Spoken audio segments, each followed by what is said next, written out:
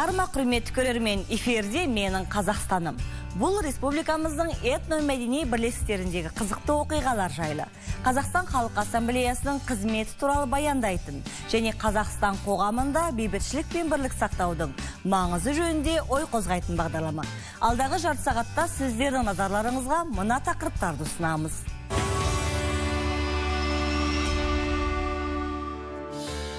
Қазақстан менің отаным дейді. Горец кавказ биі ансамблінің жетекшісі махмуд юсупов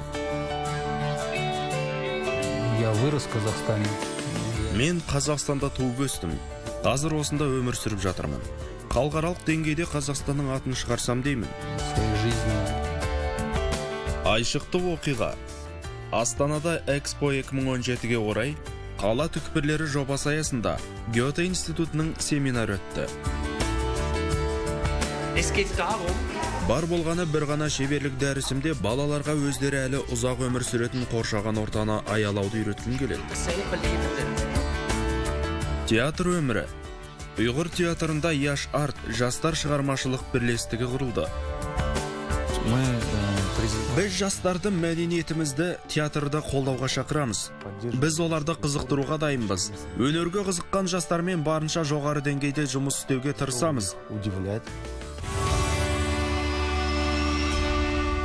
Қоғамымыздың саяси экономикалық және мәдени дамуына қазақстандықтар қандай үлес қосып жатыр? Бұл сауалға бұл менің қазақстаным айдарында жауап беруге тырысамыз. Хабарымыздың бүгінгі қонағы горец кавказ би ансамблінің көркемдік жетекшісі махмуд юсупов.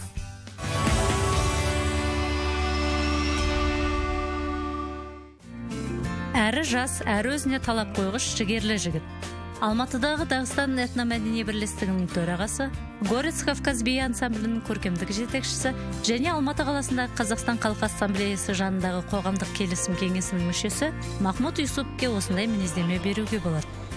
Ол қоғамдық жұмыстарға араласа жүріп қазақстандықтарды дағыстан мәдениетінің ерекшеліктерімен таныстырып дағыстан мен қазақстан арасын бұрынғыдан да жақындата түсуді мақсат етті.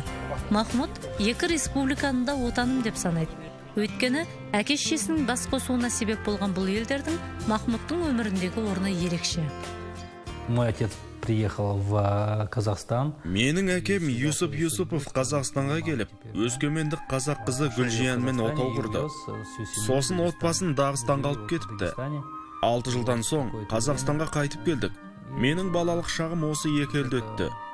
Біз біресе дағыстанға біресе қазақстанға көшіп жүрдік. Мен ержеткенде спортта үлкен жетістікке жеткім келіп 17 жасымнан бастап футболмен шұғылдандым. Қазақстанның құрамасында ойнап жүргенде мені алматының намыс командасына шақырды. Мен бұл қаланы алғаш көргенде ақ жақсы көріп қалдым. Сондықтан спорттан кеткен соң алматыда қалдым. Но по воле опять Всевышнего я приехал сюда, опять в Алмату.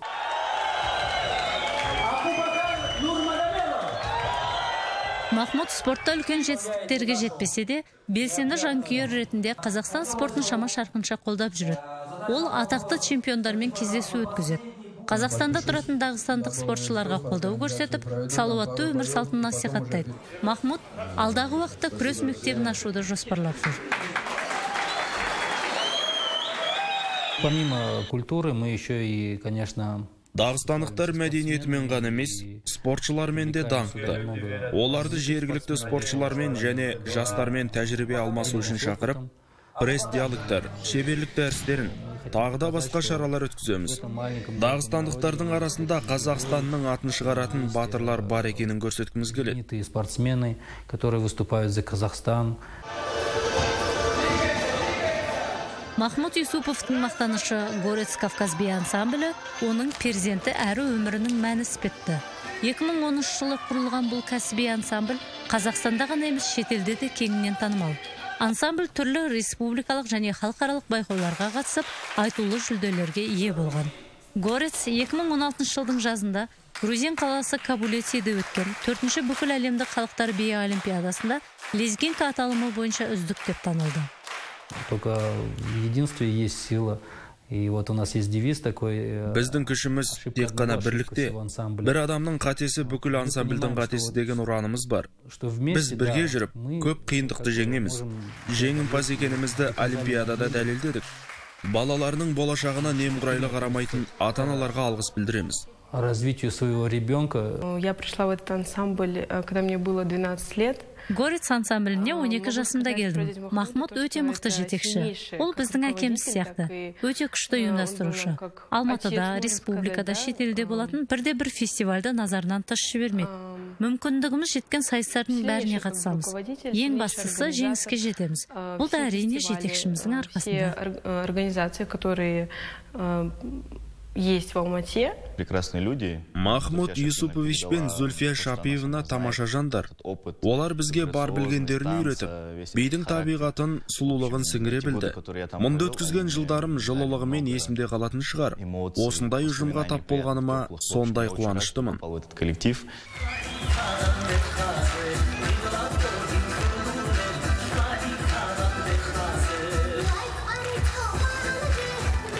Махмұт юсуповтың отбасындағылардың бәрі билейді қыздары айменат пен патимат горец ансамблінің кіші құрамының бишілері. Олар қазірдің өзінде де жетістіктерге қол жеткізіп әкелерін қуантып жүр.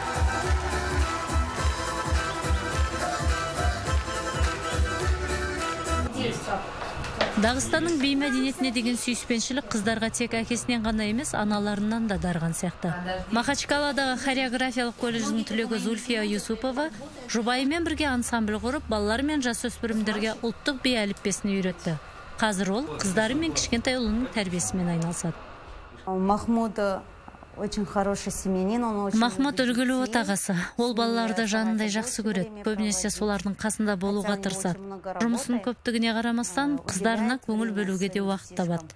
Ә, біз қазір ансамбльде бәріміз түгел біргеміз.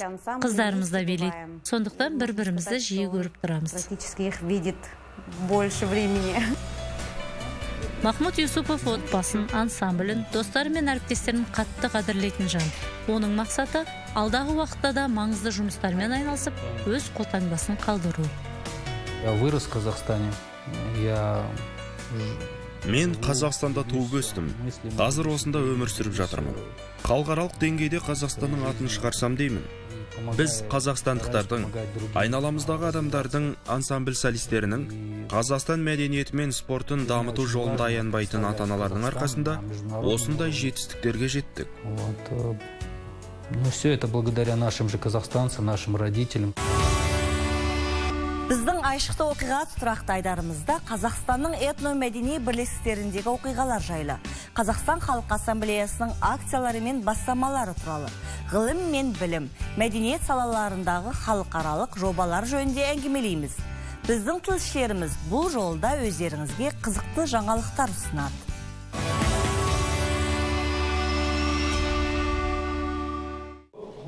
Қазақстан халқы ассамблеясы мен қоғамдық келісім республикалық мемлекеттік мекемесі халыққа конституцияға жақында ғана енгізілген түзетулердің маңызын түсіндіру жұмыстарын жалғастырып жатыр. Республика бойынша барлық достық үйлерінде. Сондай ақ алматыда соңғы конституциялық реформаларды қолдауға байланысты іс шаралар өтіп жатыр. Это очень э, мотивированный, серьезный э, такой... бұл біздің тәуелсіздік алғаннан кейінгі 25 жылдағы нақтылы байыпты саяси қадамдарымыздың бірі. Қазір сыртқы жағдайдың қалай өзгергенін болжау мүмкін емес. Сондықтан мемлекеттік басқару жүйесін күшейте түсу керек. Президент басымдылығы сақтала отырып өкілеттіліктің маңызды бөлігі парламентке беріледі. Бұл өте маңызды. Соңғы конституциялық реформаларға байланысты қазақстан халқы ассамблеясы мен қоғамдық келісім республикалық мемлекеттік мекемесінің рөлі айтарлықтай өсіп келеді. Өйткені қазақстан қоғамында этникааралық тұрақтылық пен келісімді сақтамай құқықтық зайырлы және экономикалық жағынан мықты мемлекет құру мүмкін емес. Последние дни мы встречаемся с... соңғы күндері біз қабылданған конституциялық реформаларды талқылау үшін этномәдени бірлестіктердің белсенділерімен кездесіп жүрміз. біз солар арқылы реформаларды әр отбасыға түсіндіре аламыз. біздің белсенділер тек этномәдени бірлестіктер аясында ғана жұмыс істемейді. олар әскери бөлімдерде мектептерде мектептерде жоғары және орта оқу орындарында кездесулер өткізеді. демек әрбір қазақстандыққа конституциялық реформалар туралы ақпарат жеткізуге үлес қосып жатырмыз деп ойлаймын. своих культурных объединений. 2017 жылдың 10 наурызында мемлекет басшысы Қазақстан Республикасы Конституциясына өзгертулер мен толықтырулар енгізу туралы заңға қол қойған еді. Осыған байланысты мемлекеттік бағдарламаларды қаржыландырудың бір тұтас жүйесін мемлекеттік бюджет есебінен қаржыландырылатын барлық ұйымдардың қызметкерлеріне еңбекақы төлеу мәселесін бекіту өкілеті де үкіметтің құзырына беріледі яғни үкіметтің дербестігі мен өкілеттігінің артуы есебінен сонымен қатар парламенттік бақылау тетіктері арқылы халықтың азаматтық қоғамның және қазақстан халқы ассамблеясының әлеуметтік экономикалық шешімдерге ықпал етуге деген мүмкіндігі артады.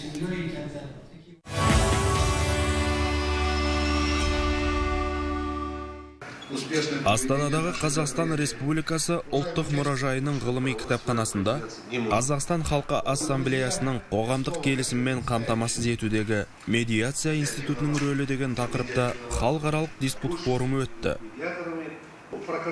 Шараға қазақстан халқы ассамблеясы медиация кеңесінің мүшелері өңірлік достық үйлеріндегі медиация кабинеттерінің меңгерушілері кәсіби және қоғамдық медиаторлар қатысты.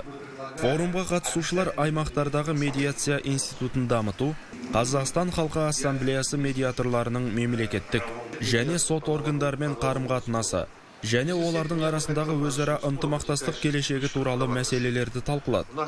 Жиында шығыс қазақстан облысындағы достық үйінен келген медиаторлар да жиналғандарға жұмыс тәжірибелері туралы баяндап ой бөлісті. Біз бұл сала бойынша арнайы дағды жоспарымыз болмаса да бұрында өз бетімізше жұмыс істегенбіз. қазір күнде жұмыс істейміз адамдарды қабылдаймыз алдымызға келген азаматтарға кеңес береміз. Шығыс қазақстандағы достық үйінде жұмыс істеуге барлық жағдай жасалған. Форумға шетелдік сарапшы ретінде ресей федерациясы медиаторлары ұлттық ұйымының өкілдері шақырылды. Олар астанаға қазақстандық әріптестерімен ынтымақтастық орнатуға және қазақстан халқы ассамблеясы медиация кеңесімен бірлесе жұмыс істеу меморандумына қол қоюға келді. Медиация очень значима и как медиация ұлтаралық және мемлекеттік аралық қарым қатынастарды реттеу барысындағы өте маңызды құрал. Бүгінгі таңда қазақстан республикасында медиация мәселесіне баса назар аударылып отыр. Осы жиынға шақырған үшін ұйымдастырушыларға алғыс айтқым келеді. Бұл саладағы әріптестігіміз бұдан ары қарай да белсенді түрде дами береді деп сенемін. Форумның қорытындысы бойынша қазақстан халқы ассамблеясы жанынан білікті мамандар дайындап 2017 жылдың екінші жартысында медиаторлар құрылтайын өткізу мақсатында медиация институтын дамыту үшін үздіксіз жұмыс істейтін медиаторлардың ұлттық қауымдастығы құрылады.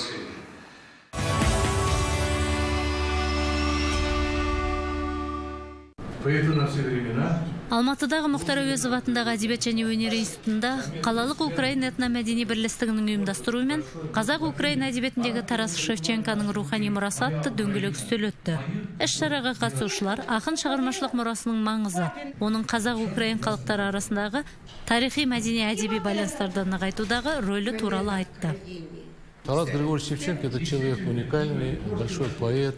Тарас григорьевич шевченко адам ретінде де ақын суреткер ретінде де ерекше жан. Ол жер аударылып келіп жеті жылдан астам уақыт қазақстанда болды. Ол мұнда картографиямен және шығармашылықпен айналысты. Біздің халықтың тарас шевченкоға деген сүйіспеншілігі ерекше.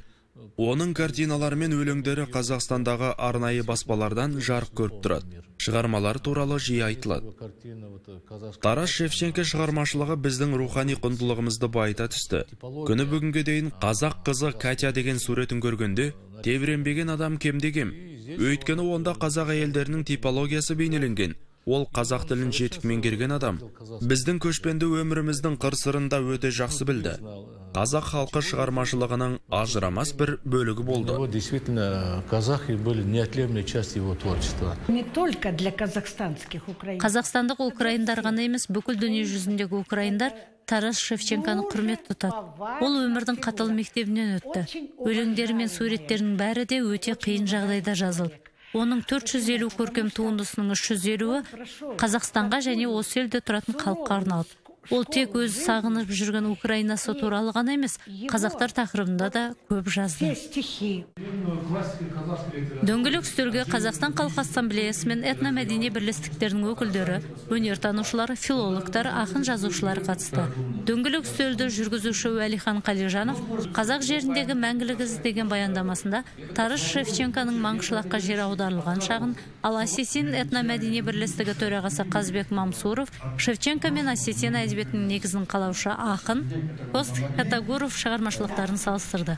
Мұхтар әуезов атындағы әдебиет және өнер институтының бас ғылыми қызметкері алимжан хамраев шевченконың ұйғыр тіліндегі аудармалары тақырыбында баяндама жасады. Шевченко это не просто мост. шевченко біздің халықтардың мемлекеттердің елдердің арасындағы жай арқау ғана емес әр адамның жүрек құлын шертер лирик оның поэзиясы көркем сөздері өткір ойлары халқымыздың алға жылжып әлемдік гуманитарлық кеңістікте танылуына қозғау салады Позволяет нашим народам двигаться вперед.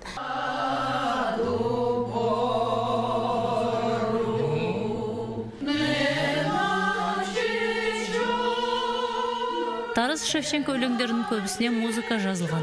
Ақын өлеңдеріне жазылған әндерді белгілі украина хоры орындады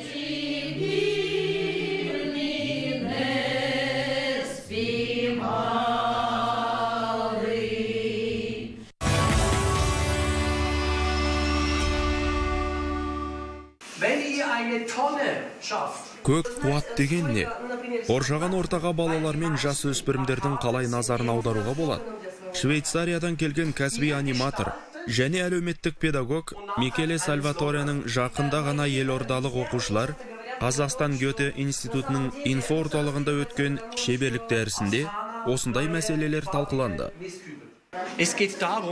Бар болғаны бір ғана шеберлік дәрісімде балаларға өздері әлі ұзақ өмір сүретін қоршаған ортаны аялауды үйреткім келеді. Өйткені мәселе олардың болашағы туралы. Оған деген дұрыс қарым қатынасты бала кезден үйрету керек. Шеберханаға келушілердің жас мөлшері де керемет біз экология тақырыбын қоқыстарды өңдеу және қуат тұрақтылығы мәселелерін талқылаймыз. Түрлі тапсырмалар мен әдістер арқылы оқушылардың қызығушылығын оята аларыма сенімдімін Erreichen. шеберлік дәрісі ойын түрінде өтті. Оқушылар жинаған қоқыстарының салмағын өлшеп көрді. Қоқыс жәшіктерін бояды. Анимациялық роликтер жасап экология тақырыбында сұхбат жазды. Тазалық сақтаудың соншалықты қиын емес екеніне көз жеткізді. Я, конечно же, за мусором слежу.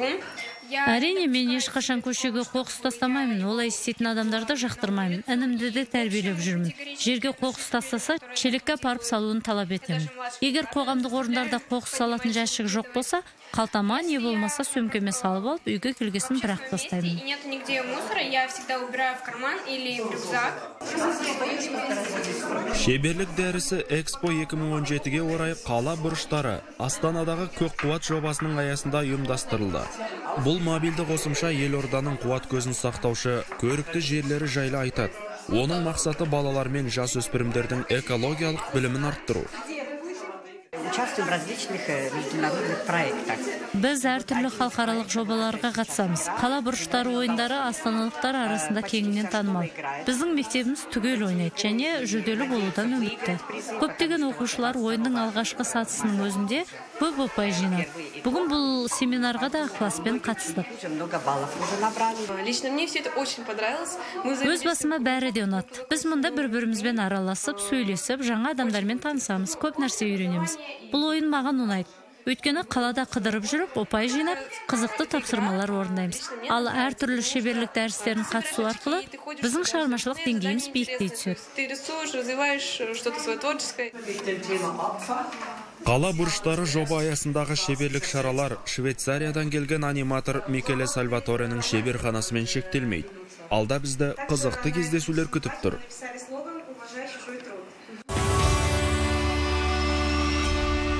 Ал енді сіздерді сәндік қолданбалы өнер шеберханасына шақырамыз. Бүгін біз канзаши жасап үйренеміз. Бұл жапонның мата баулардан жасалған төреуіш, шаш қыстырғыш, тарақ сияқты әйелдерге арналған дәстүрлі бұйымдары. Бұлар 17 ғасырдан бастап қолданысқа енген дүниелер.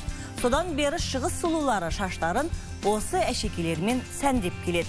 Бір кезде канзашилердің асқан шеберлікпен жасалғаны соншалық, бағасы кимонодан да қымбат болған екен бүгінде ол заманның әшекейлері сирек кездеседі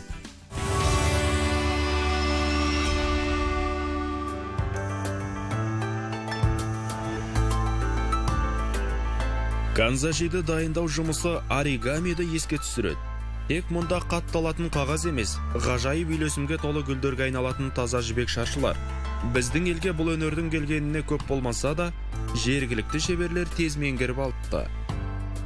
Нас это новшество. У нас больше привыкли делать Бұл біз үшін жаңа дүние. Біздің адамдары полимерлік саздан жасалатын гүлді шекелерге үйреніп қалған. Алматадан жасалатын мұндай бұйымдар сейрек кездеседі. Мұндай өнер Украинада және Жапонияда көбірек дамыған сияқты.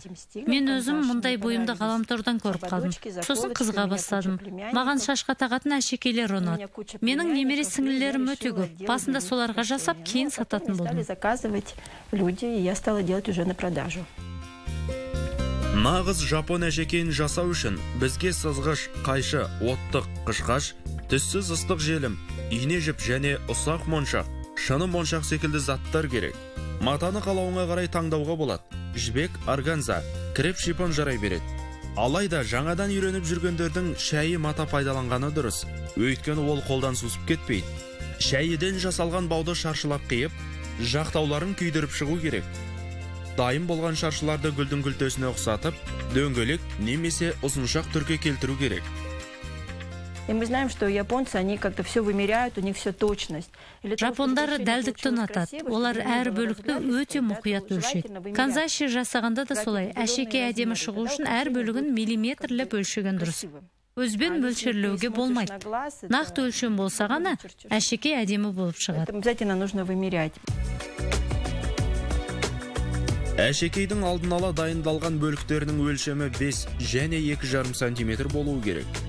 Оларды дұрыс үйлестіру үшін ең дұрысы ғаламтордағы сызбасымен танысу керек. Сол арқылы жаңадан үйренген адамның өзі әдемі жапырақшаларды оп оңай көшіріп алады.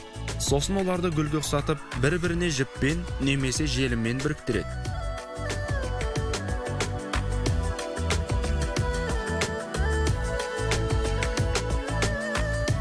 Ал қызылтаңдай гүліне ұқсайтын әшекей жасау үшін ештеңені қиюдың қажеті жоқ. Ұзыншақ матадан ескі cd дискінің көмегімен қатарласқан жартылай дөңгелектер сызып шығамыз. Бір жарты дөңгелек бір күлте болып саналады. Жартылай дөңгелектер неғұрлым көп болса гүлде соғұрлым үлкен болып шығады. Сосын инеге ұзын жіп сабақтап алып жартылай дөңгелектерді біртіндеп жинақтай отырып тігіп шығу керек. Сосын жіпті тартып қызғалдақтарды жинаймыз.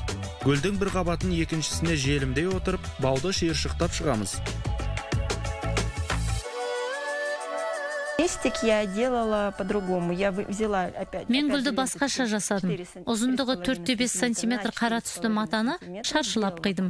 Шетін күйдіріп, айналасын торладым. Сосын ішіне мақта толтырып будым. Көлем беру үшін кестелеп тіктім.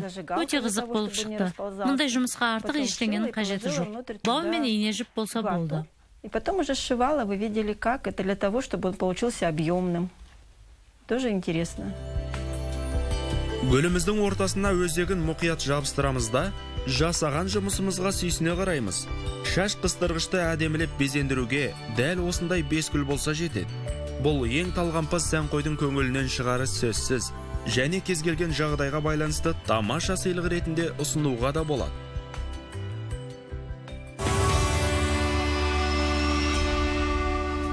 Құдыс қожамияров атындағы республикалық мемлекеттік академиялық ұйғыр музыкалық комедия театрында яш арт жастар бірлестік құрылды. Олардың күлке клаб атты алғашқы әзіл оспақ кешіне біздің тілшілер де қатысып қайтқан еді. Күлкі клабналық кечілігімізге қош кәпсілер. Мәрхәмәт қыны. Кеш театрдың жаңадан ашылған көрермен залында өтті. Концертке Қазақстан Республикасы халық артисі Мурат Ахмадиев, Ұйғыр театрының директоры Руслан Тоқтахонов, режиссер Ялхунжон Шамиев және театрдың әдебиет бөлімінің жетекшісі Ақын Патюгүл Мақсатова қатысып, жастарға шығармашылық табыс тіледі.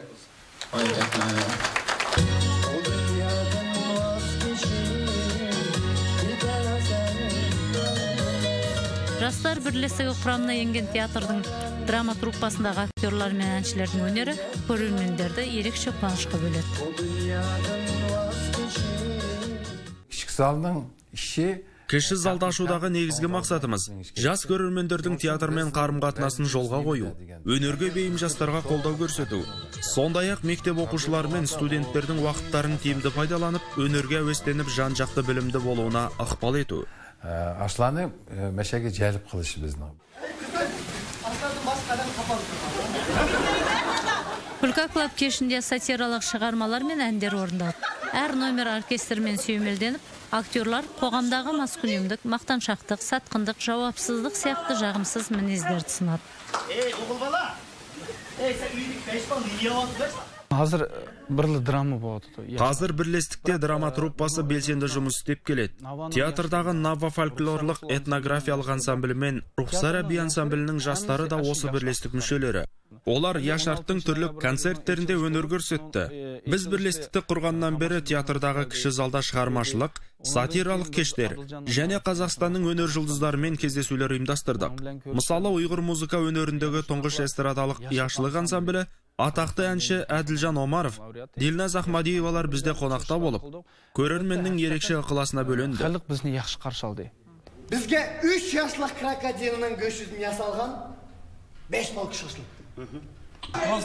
бүгінде ұйғыр театрының ұжымында 200-ге жуық адам бар. Олардың 70 пайызы жастар. Жастардың басым көпшілігі темірбек жүргенов атындағы өнер академиясының түлектері. Яшарт жастар театрының негізгі жұмысы соларға жүктелген. Арасында отырмыз ғой чымның төпісте и жоқ едің жоқ едің очковая кобра пайда болды ғой алдымызда призываем нашу молодежь біз жастарды мәдениетімізді театрды қолдауға шақырамыз. Біз оларды қызықтыруға дайынбыз. Өнерге қызыққан жастармен барынша жоғары деңгейде жұмыс істеуге тырысамыз. бірлестіктің барлық жұмысын өзіміз атқарып отырамыз. мысалы театрымыздың жастар арасында сахналық қойылымдар сценарийін миниатюралар жазып жүргендер бар. қазір біз сол шығармаларды іріктеп театрымыздың кезекті кешіне дайындалып жүрміз. то есть мы сейчас отбираем. Это у нас только начало.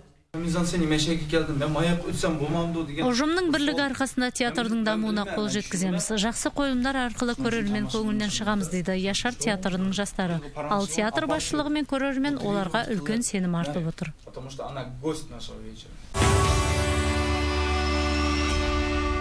Бағдарламамызды осымен аяқтаймыз. Хат жазыңыздар қоңырау шалыңыздар. Жақсы істерімен айналасына үлгі неге болып жүрген жандарды қалың қауымға таныстыруға қашанда әзірміз. Бір аптадан кейін дәл осы уақытта қазақстан ұлттық телеарнасында кездескенше.